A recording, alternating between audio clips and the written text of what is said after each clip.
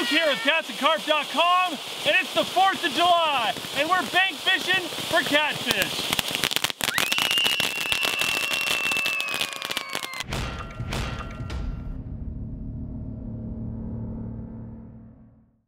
Oh, by the way, did I mention in celebration of our nation's independence, I'm also going to be giving away a rod and reel combination at the end of this video. So stay tuned for details how you can win and help me celebrate America.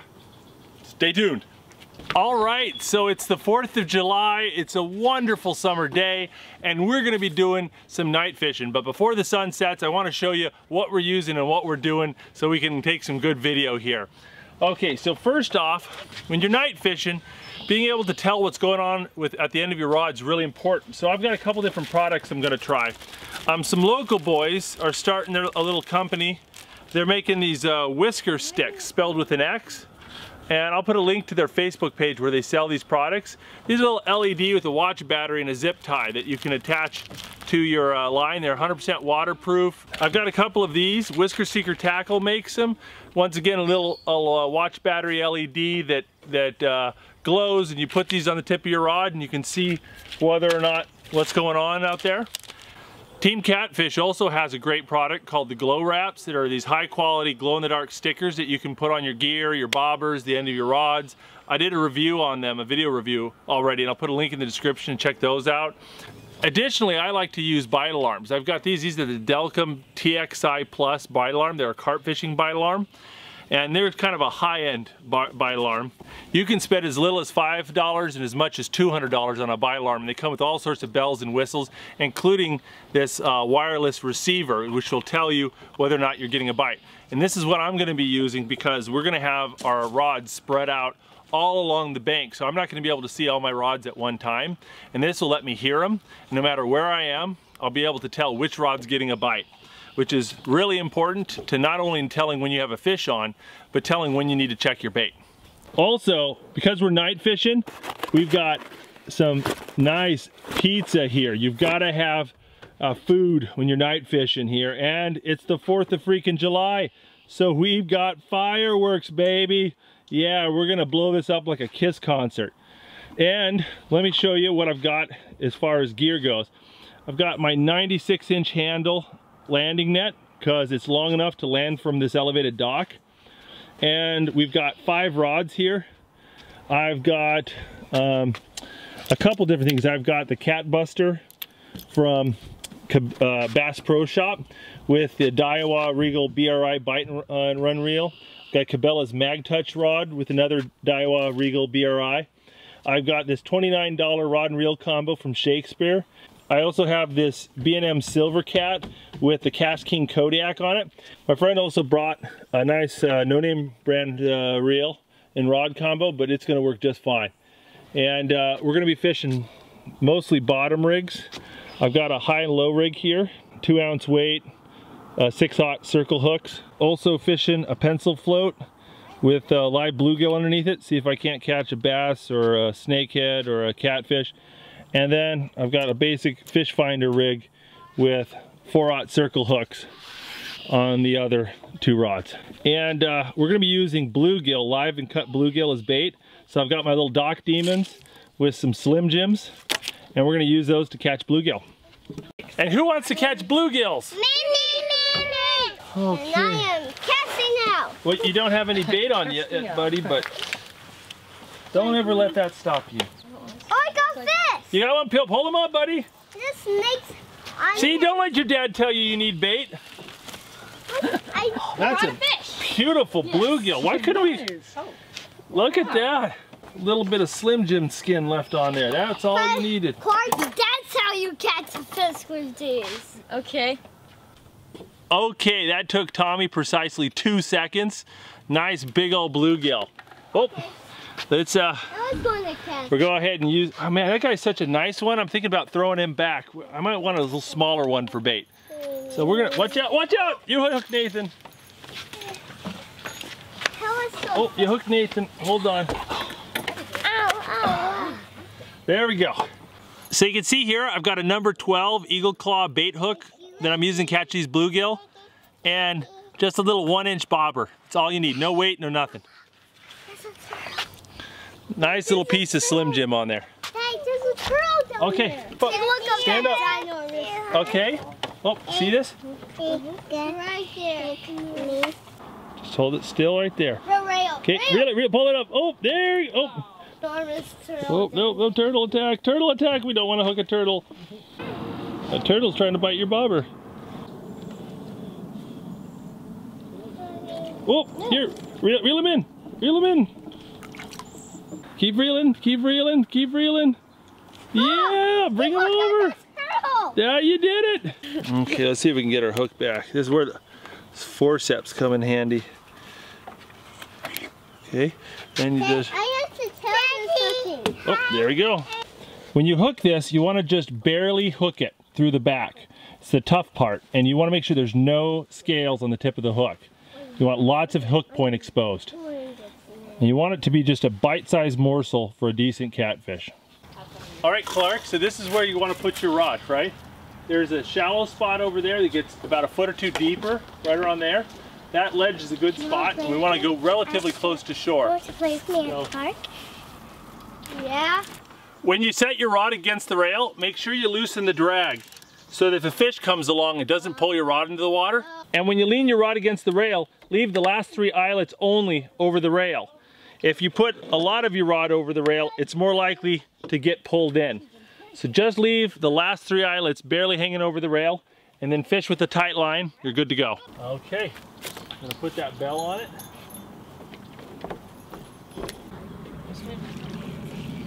There we go. So I've got a great little green sunfish and I'm hooking him right through the back. I'm gonna fish him live underneath this weighted bit, uh, float. And I'm gonna give him about that much line. About two feet of line under the bobber. Oh, excellent, bring him up, buddy. Woo! Ah, this one's crazy. Oh, excellent, a crazy one. I love the crazy ones.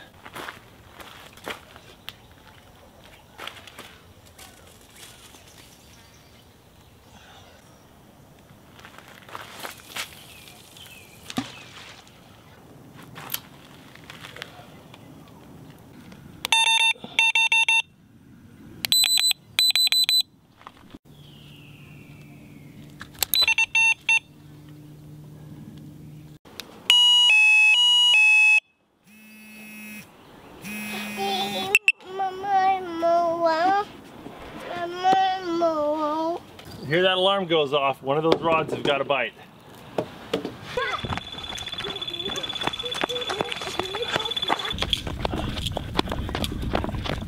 All right, hold on, hold on, hold on. See it? See the white one? See the see how the lights are on the white one? Yeah. Okay, wait, wait. The fish ain't on. He ain't on. Okay. He's messing with it though. Why don't you pick that rod up slowly? Pick it up slowly and keep the tip down. Oh, he's monkeying with it. All right, go ahead and start reeling on that. Okay, raise the tip up, raise the tip up. You feel a fish on there? Okay, yeah, he's on there. Go for it. Come on, reel him in, reel him in. Keep that tip up, keep that tip up. Liking that? Okay, just keep them up. Pull your rod tip up. Okay, get it in there. Nice. All right, just keep keep him down in the water there for me. Nice. Good stuff, man. High fives. Yeah. All right, first one of the night. Okay. Let's take a peek at him. Oh, I think he already unhooked himself. Hey Clark, is this your first catfish? Uh, yeah. Yeah, pretty nice one, not bad. Did you enjoy reeling that thing in? Yeah, fishing's pretty fun. Awesome, man. Well, let's put him back, okay? Yeah. There you go, Nathan. Oh. Daddy, these fish. Hang out. Hang out. The fish is gone. There you go. Good job, man. Hey Nathan, Nathan, you having fun? I catch fish. You catch fish. Nice. Woo.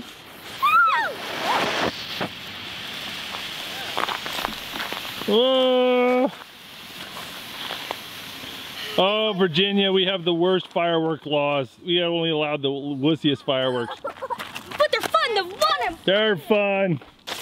And all the people who will criticize me for not getting cool illegal fireworks from North Carolina are also the same people who would call me an idiot for breaking the law and then putting it on YouTube. All right, see if we can light the...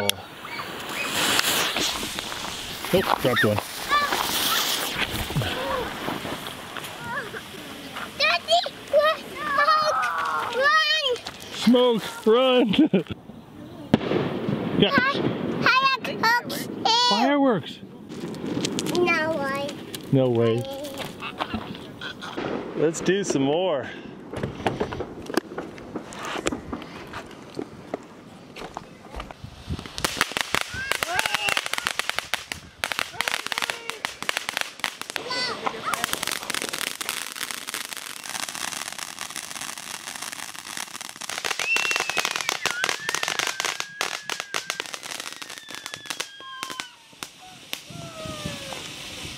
Was that fun, guys? No. Yeah, I want to do more.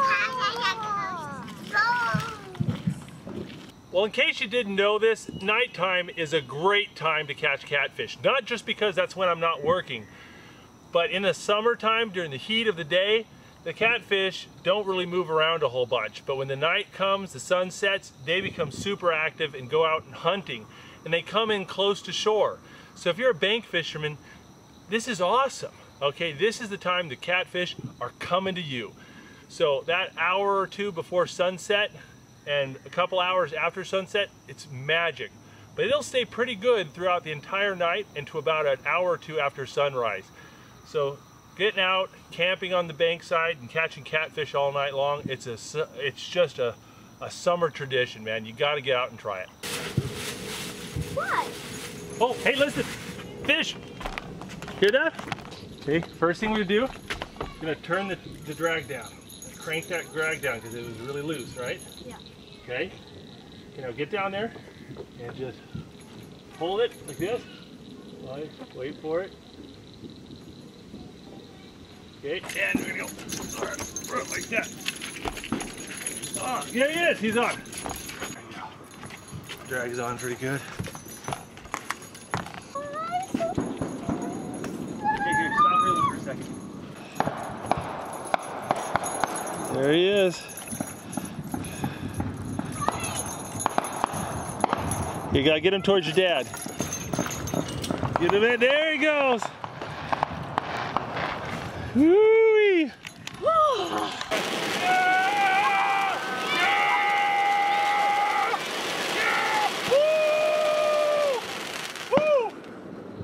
Congratulations on another fabulous catfish. All right, let's put it back.